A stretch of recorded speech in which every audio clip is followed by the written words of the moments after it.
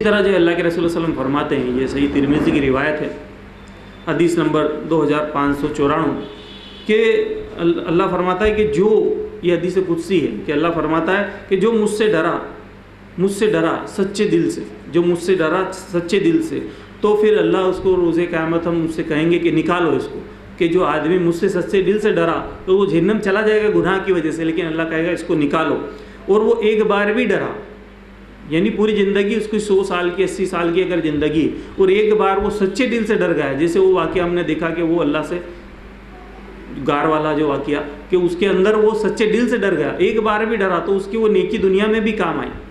तो आखिरत में भी अगर एक बार भी वो अगर सच्चे दिल से अल्लाह से डर गया तो अल्लाह उसको कहेगा कि निकालो इसको, क्योंकि एक बार ये मुझसे डरा। तो उसको भी जहन्नम से निकाल लिया जाएगा।